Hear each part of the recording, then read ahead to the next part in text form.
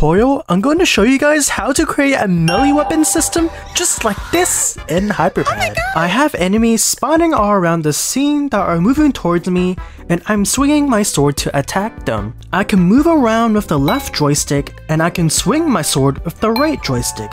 The direction I point my right joystick is where the player will attack. How do we do that? Okay, let's start simple. I'm just gonna start with this scene. The enemies are going to move towards the player, my player can move around and the enemies can hurt us, but we don't have the ability to attack yet.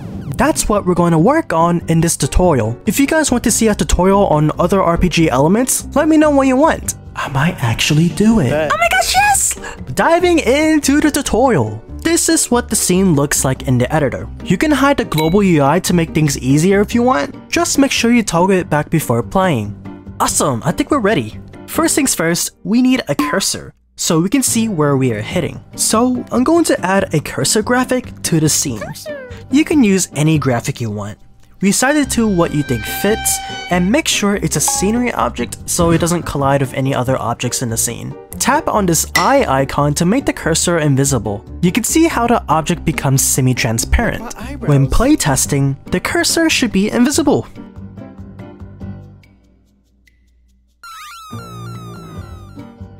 Awesome! The idea here is that we only want to show the cursor when we are using our melee attack, and we only melee attack while using the joystick. Back into the editor! I like to organize my behaviors into separate labels. As you can see, have the behaviors responsible for moving the enemies towards the player in this label. And I have the behaviors responsible for spawning the enemies in the scene in this label. I'm going to add a new label and set the text to be melee attack behaviors. This is where I will put all the behaviors for now. Let's go into the behaviors of this object. Awesome! Let's start simple. Let's make it show the cursor when we start touching the right joystick. Add a started touching behavior, and in it, select the right joystick. Then add a set visibility behavior, plugging it under the started touching behavior, and in it, select the cursor we've just made. Nice! Now we just have to hide it once we stop touching the right joystick. Of course, add a stopped touching behavior, selecting the right joystick again. We can duplicate the set visibility behavior, plugging it under the stop touching behavior, and in it, we can set it to hide the graphic. Let's test it! Yeah, cool. This is what you should see. Now, let's make it so this cursor moves to where we are going to be swinging our melee weapon. Back into the behaviors, let's add a joystick input behavior. In it, select the right joystick and make sure normalize output is enabled. This makes it so the values always range from negative 1 to positive 1, regardless of the size of the joystick. This just makes it easier for us in the long run, trust me. Alright, let's add a frame event behavior. Make sure it's set to on update.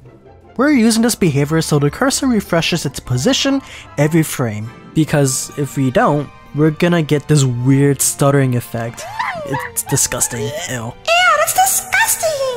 We want to move the cursor to the player, so add a move to object behavior under the frame event behavior. Select the cursor for the first object and select the player for the second object. Make sure the duration is 0. Next, let's move the cursor depending on the x and y values of this joystick input.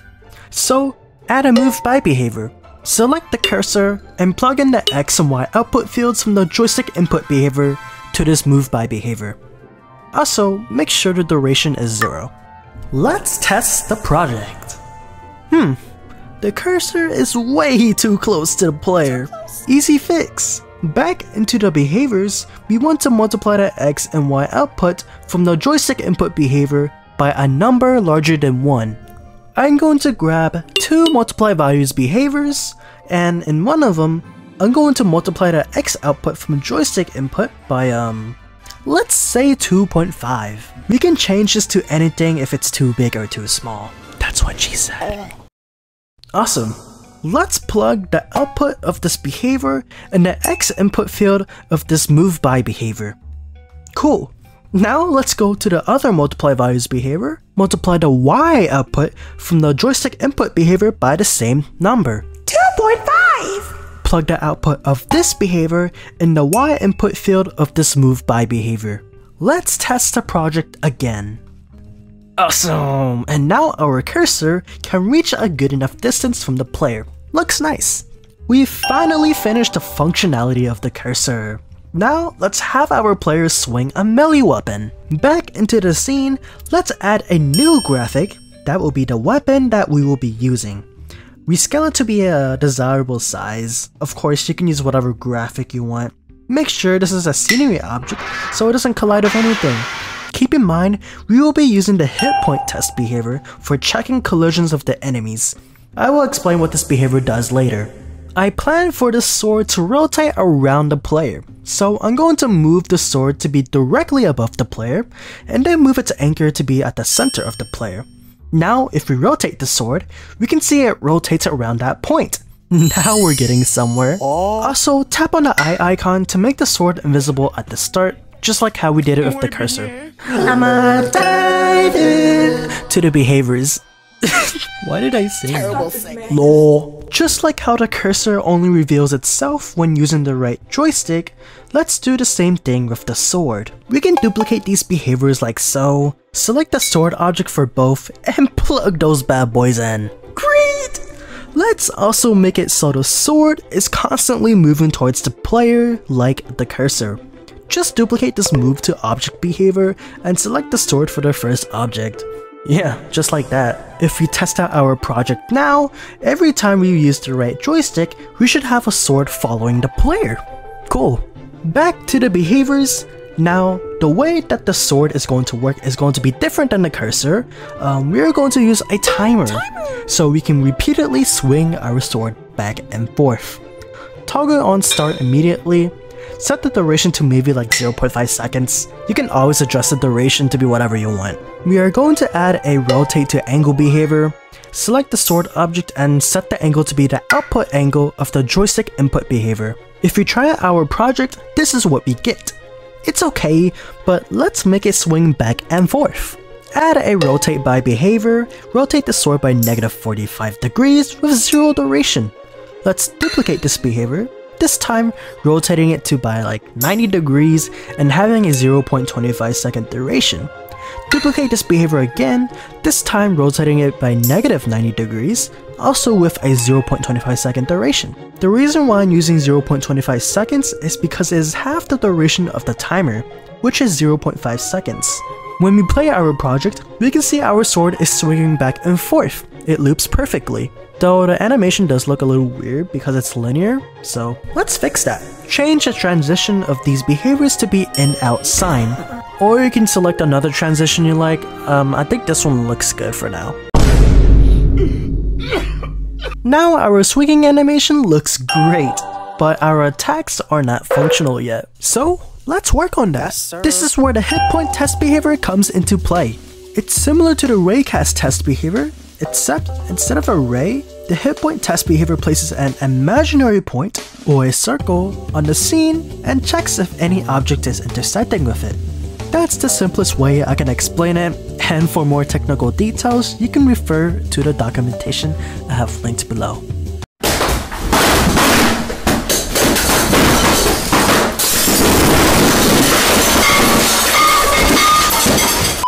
In this case, we want to place a circle where the player is swinging their melee weapon and check if it intersects any enemies. If it does intersect any of the enemies, then the enemies that were hit should take damage. Fun fact, this is the same way Super Smash Bros. determines when the character should take damage. They place circles on the scene, check if the opponent is intersecting with the circles, and apply damage if so.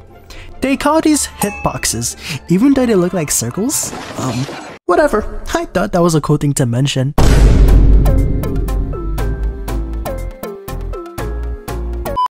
Well, let's do something like that in our project. Yes! We want to get the position of the cursor because that will be where our hitbox is going to be. So let's add the get position behavior and have it get the position of the cursor. Add the hit point test behavior after it, and it may look intimidating at first, but it will all make sense once you read all about these options in the reference. The hit test type should be all objects. This will make sure that every single enemy that was hit will be registered instead of only one of them. Make sure the layer is the same layer that the enemies are on, which in our project is the main layer. We also want to target the enemies and I've already added a tag to my enemies called enemy.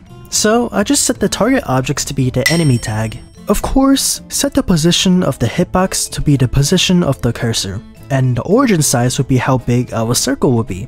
A larger number means a larger circle. Let's choose 2.5 meters for our case. Of course, you can change this to be any value you like. Maybe you have a larger weapon or whatever. Awesome, we're almost done! Now, we just want to damage the enemies that have intersected with this hitbox and that's easy. In the enemy object, I've already programmed a receive message behavior. When this is triggered, the enemy takes damage. In my case, the enemy turns red for a split second and subtracts 1 from its health attribute. When the health reaches 0, the enemy is destroyed. Pretty simple. The key for this receive message behavior is damage. Remember that for later. Back to the melee attack behaviors, under the hit point test behavior, let's add a broadcast message behavior. The key will be the same as the receive message behavior we've seen before, which is damage. Nice. Don't worry about the broadcast fire, we won't use it. But let's disable the global toggle. This allows us to broadcast to specific objects instead of every single object in this scene. In this case, we want to broadcast to the enemies you just hit. Boom, just like that. And we're practically done here. Let's test it. Awesome! Wait, I'm still able to hit my enemies even when I'm not using the right joystick. Uh-oh, what's wrong? Well, the problem is I'm still actually swinging my sword in the background and we didn't program a way to stop it. So, let's fix that. In the behaviors, use a set behavior state behavior and select the timer behavior. Set the mode to disable. Now, this behavior will stop the timer, therefore we should stop swinging our weapon when we release the right joystick. Let's duplicate this behavior and put it above the timer. Set it to enable the behavior this makes sure the timer is turned back on when we want to start swinging again. Oh my gosh, we're done! Look at that! A melee weapon system created using a hit point test and some other behaviors. Hmm. I do want it to inflict damage when the player swings back.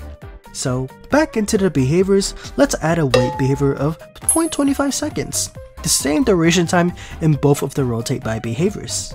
Then just plug that bad boy to the get position test behavior.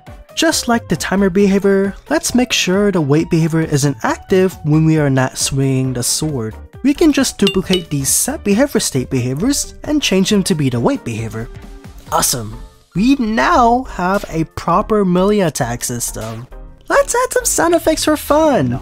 I added one every time the player swings their sword, and I also want to have a sound effect that plays when an enemy has been hit. So place down an if and have it check if intersecting is equal to 1. Then plug a play sound behavior and you're done. yeah, that's it. This is cool! And you can spice it up with other stuff if you want, but I'll just leave it here. You guys do whatever you want with yes, this. Sir. That is all for this tutorial. If you had a keen eye, you probably noticed how I showcased a health bar under each enemy. If you guys want a tutorial on how to do that, let me know. I hope you guys can create some cool games with this melee attack mechanic. The possibilities are just endless at this point. I hope you all enjoyed this tutorial, and I will see you later.